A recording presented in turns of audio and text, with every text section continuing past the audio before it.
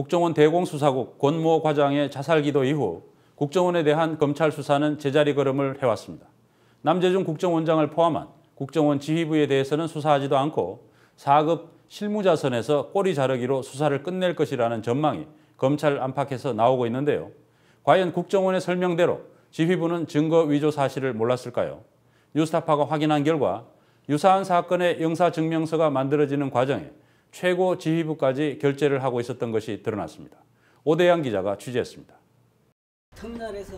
지난 1986년에 터진 제일동포 간첩 조작 사건의 피해자 김양기 씨.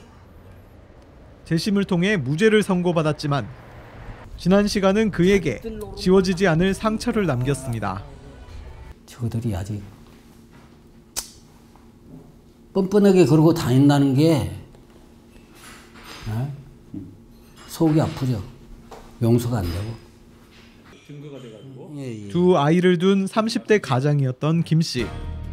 그가 간첩으로 몰려 5년 넘는 세월 동안 옥고를 치러야 했던 이유는 군 보안사의 불법 구금과 구타에 의한 허위 자백 그리고 주일 한국 대사관이 보내온 한 통의 영사 증명서가 전부였습니다. 난 위해서 한 일이지만 그 영사 증명이 예, 내가 조청년 누구 그 공작원을 만나서 다는 그런 증거로 활용이 됐더라고요. 영사 증명은 해외 공간의 영사가 주재국 정부 문서의 진위를 확인해 주는 것으로 내용 확인이 어렵다는 점 때문에 과거 간첩 조작 사건의 만능 열쇠처럼 악용돼 왔습니다. 제일동포 간첩 사건 당시 법정에 제출된 주일대사관의 영사 증명서입니다.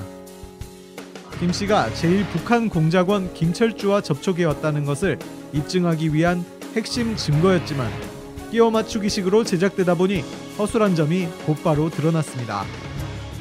1944년생으로 기재된 김철주의 이력을 보면 8살에 불과했던 1952년 조총련 지역본부 선전부장을 역임했다고 나옵니다. 이 황당한 내용의 문건은 문제가 된 연도만 수정돼 다시 제출됐고 김 씨는 결국 간첩죄로 실년형을 선고받았습니다. 영사증명이라는 게 어, 정말 간첩을 만들어내는 마스터키 비슷한 역할을 했어요. 그야말로 수사기관의 주장을 옮겨놓고서 수사기관원이 다만 외국에 근무한다는 이유로 그리고 직함이 그 안기부가 아니라 외무부의 영사라는 타이틀을 쓰고 있다는 이유로 거기다가 도장 찍어서 보낸 보낸 거. 이 문건이 보안사와 안기부의 긴밀한 협조 속에 만들어진 위조 서류였다는 것은 과거사 관련 기관의 조사와 재심을 통해 확인됐습니다. 김 씨가 기소되기 직전 안기부가 보안사에 보낸 영사증명 통보문에는 지금의 국정원장에 해당하는 당시 안기부장 장세동의 직인이 확연히 찍혀 있습니다. 당시 간첩 사건은 대통령에게 수시 보고될 정도로 각별한 사안이었기 때문에 안기 부장은 영사증명서 관련 내용까지 직접 관여하고 결제했을 가능성이 큽니다. 안기부나 중정의 결제 라인은 완전히 국, 저, 그 국정원장 또는 안기부장, 어, 뭐 예전에 보안사령관 이런 결제 라인은 전체를 다 밟습니다. 그래서 그 결제 라인을 볼때저 몰랐다는 것은 말이 되지 않는다고 생각하죠. 그로부터 30년 유우성 씨 사건은 김양기 씨 간첩 조작 사건과 놀랄 만큼 닮아 있습니다. 허위 자백을 이끌어낸 보안사의 포킹은 유가르 씨에 대한 중앙합신센터의 강압 조사와 유사하고 위조 서류를 세탁하기 위해 악용됐던 영사 증명은 유 씨를 간첩으로 만들기 위한 핵심 증거를 포장하는데 그대로 동원됐습니다. 간첩 조작 대상이 제일동포에서 탈북자나 제중동포로 바뀌었을 뿐입니다. 당시 간첩 조작 사건 관련 기록의 최종 결제자가 정보기관 수장이었던 점을 미뤄볼 때 유씨 사건의 결제선도 크게 다르지 않을 것으로 보입니다.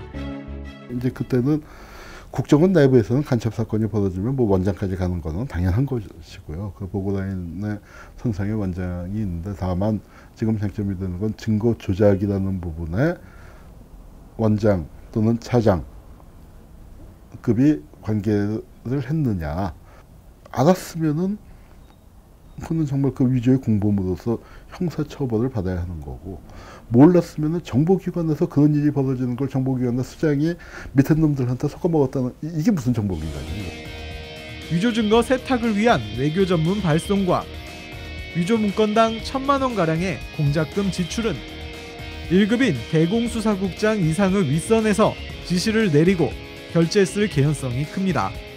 지난달 11일 야당 의원 항의 방문 당시 국정원의 이모 대공수사국장은 자신이 총괄해 재판 관련 서류를 결제했다며 필요하다면 소환에 응할 수도 있다고 말하기도 했습니다.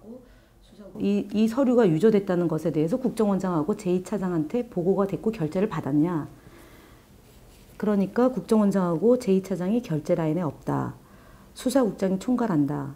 그러니까 결제 라인에 없고 본인이 총괄한다는 것은 본인이 최종 결제 라인이라고 볼 수 있는 거죠. 과거 사례를 보더라도 주요 간첩 사건은 국정원장까지 보고되는 게 상식이지만 검찰은 국정원 대공수사팀 권모 과장의 자살 기도 이후 2급인 대공수사단장을 소환 조사하는 데 그쳤습니다. 지난 99년 안기부를 국정원으로 바꾼 이종찬 전 국정원장은 뉴스타파와의 통화에서 남재중 원장이 몰랐다고 하면 믿을 사람이 있느냐며 국정원이 대선 개입에 이어 조직적인 증거 조작까지 나선 것을 도무지 이해할 수 없다고 말했습니다. 과거 간첩 조작 사건과 관련된 국정원 내부 문건들을 분석한 바 있는 국정원 과거사위 민간위원들도 남재중 국정원장이 조작 사실에 대해 몰랐다는 것은 삼척동자도 웃을 일이라고 말합니다. 아마 내부에서 가장 중요한 부분이 바로 간첩 조작 사건일 텐데 이 모든 부분은 우리가 어, 매번 일일 보고를 받았을 거라고 생각할 수밖에 없죠. 어, 삼척동자도 웃을 일이죠. 뉴스타파 취재 결과 중국 선양 주재 한국 영사관에 파견돼 위조 문건을 전달하고 영사 증명을 첨부했던 국정원 대공수사국 소속 이인철 영사는 국정원 과거사위원회에서 국정원 측 조사관으로 활동한 것으로 확인됐습니다. 민간 위원들과 함께 간첩 조작 사건으로 밝혀진 인혁당 사건의 진실을 파헤쳤던 당사자가 10년이 채 지나지 않아 간첩 조작 의혹의 중심에 서게 된 겁니다. 당시 이 형사와 함께 활동했던 민간 위원들은 역사의 시계 바늘이 오히려 거꾸로 돌아간 듯한 오늘의 모습을 보며 착잡한 심정을 감추지 못했습니다. 두 번 다시 정보기관으로서 여론을 조작하거나 간첩을 조작하거나 아니면 정보 공작 정치에 하승이 되는 것을 원천적으로 봉쇄하기 위한 하나의 방침에서 과거사 정리를 했었는데 그것들이 MB 정부, 박근혜 정부 들어서서 완전히 무로 돌아갔다는 것은 정말로 통탄스러운 일입니다. 특권 뒤에 숨은 국정원 그리고 꼬리 자르기에 급급한 검찰 더 이상 간첩 조작은 없어야 한다는 역사의 엄중한 요구 앞에 부응할 수 있는 방법은 이제 특검밖에 남지 않았습니다. 뉴스타파 오대양입니다.